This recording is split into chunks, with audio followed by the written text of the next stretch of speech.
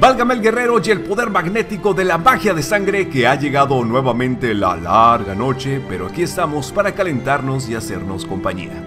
Hola, ¿qué tal amigos? Soy Jack Duran con un nuevo video donde compararemos el aspecto de los personajes de la serie con el que se nos describe en los libros. Y, aunque no haya mucha información sobre su físico o apariencia exacta, sí tenemos algunos adjetivos en los cuales basarnos, así como ilustraciones, y no lo creerás porque el resultado y las diferencias son sorprendentes. ¿Quieres saber de qué hablo? Acompáñame.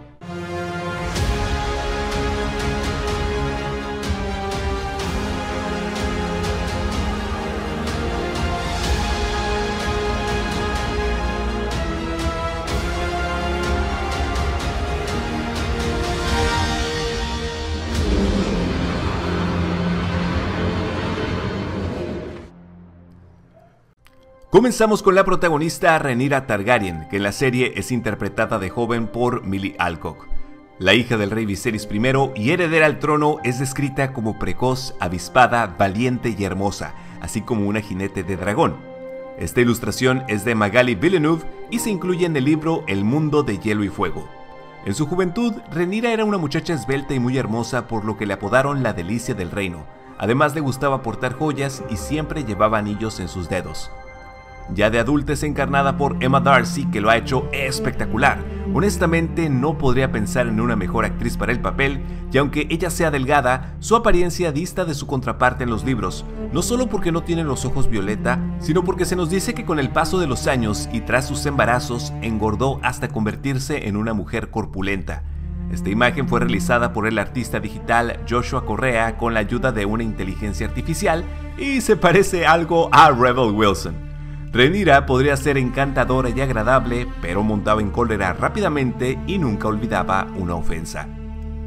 Nos vamos con Damon Targaryen, que no es otro más que el mismísimo Matt Smith, el gran favorito de muchos gracias a que ha retratado a la perfección los atributos del príncipe canalla y transmite mucho casi sin decir nada. A él se le describe como un guerrero brutal, esbelto, impetuoso y encantador esta ilustración de Mark Simonetti es oficial de los libros y notamos cómo tiene ese cabello platinado característico de los Targaryen, así como una cara afilada y atractiva. En la ilustración de Joshua Correa tenemos un vistazo más cercano ya que Damon era ambicioso, colérico, temperamental, bizarro, fuerte, osado y peligroso. Alison Hightower por su parte de joven es interpretada por Emily Carey, en los libros tiene 18 años y es una mujer inteligente y encantadora. La única ilustración que tenemos a esta edad es la correspondiente a Douglas Whitley, donde siendo cortesana le lee al rey Jaehaerys I Targaryen en sus últimos días. De adulta, Olivia Cook toma las riendas de este papel, igual, haciéndolo excelente por su interpretación y aparte de ser hermosa, creo que le queda como anillo al dedo, pues con el paso de los años había mantenido su aspecto joven y agraciado a pesar de los embarazos. La ilustración de Joshua Correa nos muestra una faceta un poco diferente de la reina, pues sus rasgos se han endurecido un poco y tiene un peso en los ojos que denota preocupación ya que ha pasado por muchas experiencias, lo cual es comprensible si vemos el final de temporada de House of the Dragon. Llega ahora Viserys Targaryen, que en la serie ha mejorado muchísimo el personaje de los libros gracias a los grandes dotes actorales de Paddy Considine lo cual lo ha hecho uno de los favoritos de los fans al retratar la decadencia y desgracia del monarca. Es por ello que su trabajo ha sido alabado por George R.R. R. Martin y ya está siendo considerado como mejor actor para las próximas entregas de premios. No obstante, en los libros, Viserys no era un hombre delgado, sino regordete, justo como vemos en la ilustración de Douglas Whitley. En la imagen de la inteligencia artificial lo vemos con un característico y tupido bigote y se nota que era alguien agradable y generoso un rey que intentaba complacer a todos, pero debido a esto y a su debilidad de carácter, más tarde surgiría la guerra civil de Danza de Dragones. A continuación tenemos a Kristen Cole, un caballero dorniense de baja cuna, hijo del mayordomo de Refugio Negro, la casa de los Dondarrion, y un joven afable de 23 años interpretado por Fabian Frankel. En la ilustración hecha por computadora, nos lo ponen con el cabello similar, más pálido, las cejas un poco más pobladas, los pómulos marcados y ojos verdes, que esta sí es una característica que se describe de él en los libros. El Hacedor de Reyes era un hombre encantador y favorito de las cortesanas, pero vamos, ahora es odiado por muchos de nosotros. Llega ahora Rhaenys Targaryen, que en la serie la encarna Eve Best. Ella es la prima del rey Viserys y esposa de Cordis Velaryon, apodada la reina que nunca fue. Y aunque la serie tenga el cabello platinado, lo cierto es que en el libro, dado que es Baratheon por parte de su madre, posee la melena oscura y los ojos violetas.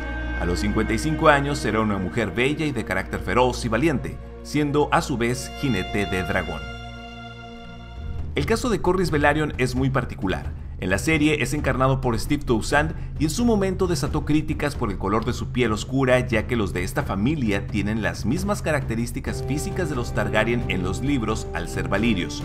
No obstante, este giro, aunque se me hizo extraño en un principio, me ha encantado. Incluso George R.R. R. Martin hubiera deseado que los Velaryon fueran negros, así que podemos decir que es canon.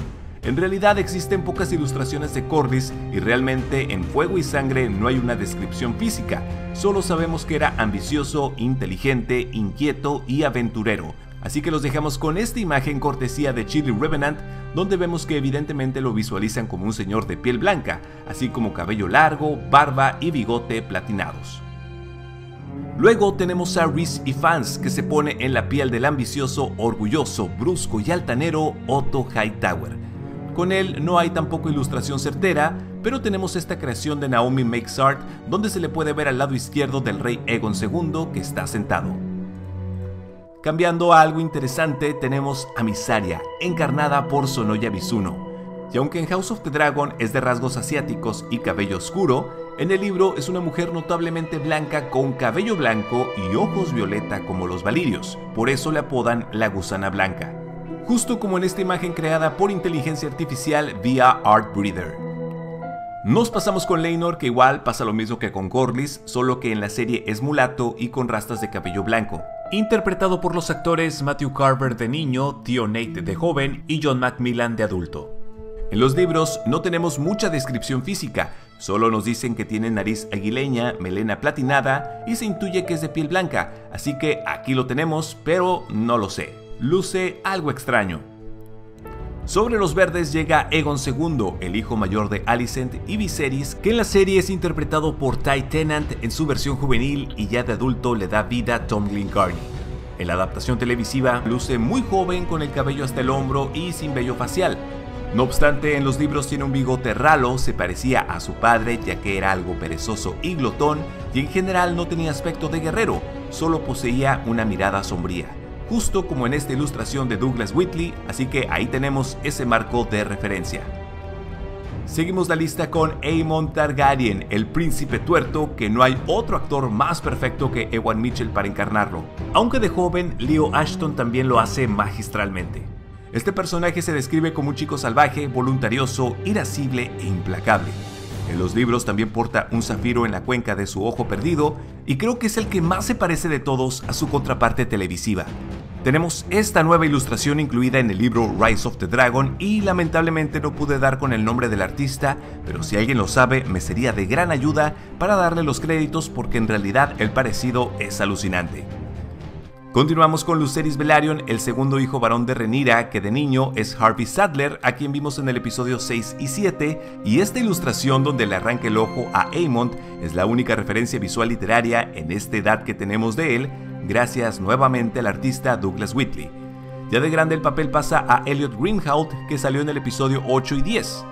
Y nuevamente en el último libro nos muestran esta imagen donde discute con Aemond en Bastión de Tormentas. El artista no lo tengo claro y espero puedan apoyarme con eso. Sobre Jaceres Velaryon en la serie hay dos actores que lo interpretan, Leo Hart en su versión infantil y Harry Colette ya de grande, y que claro, lo veremos en gran parte de la segunda temporada. En el libro se describe como de cabello y ojos castaños con una nariz chata, un joven fornido, apuesto, inteligente, responsable y audaz. El artista Douglas Whitley nos regaló este dibujo donde él, siendo el más alto, aparece con sus hermanos Luceris y Joffrey Velaryon. Y de este último, el más pequeño, no haré comparación porque ya ha cambiado dos veces el actor, así que no sé si vaya a ser el definitivo en los episodios por venir. Leina Velaryon también es motivo de otro cantar, ya que comparte rasgos valirios con los Targaryen. En la serie es encarnada por Nova Foelis de niña, Savannah Stein de joven y por Nana Blondel de adulta, así que bueno, son muchos cambios a lo largo de la temporada.